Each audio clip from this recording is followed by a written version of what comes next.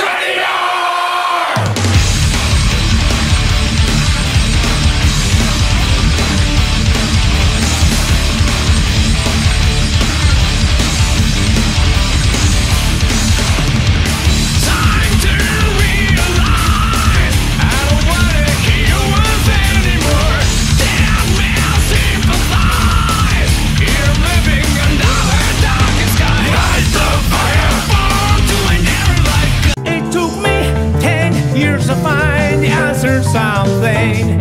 I forgot about it in two seconds.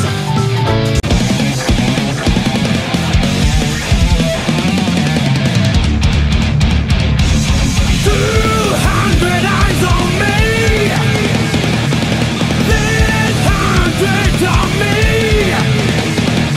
Hey, what do you call a doctor who fails out of med school? What? A dentist.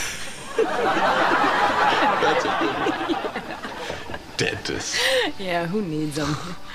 Not to mention the blacks and the Jews.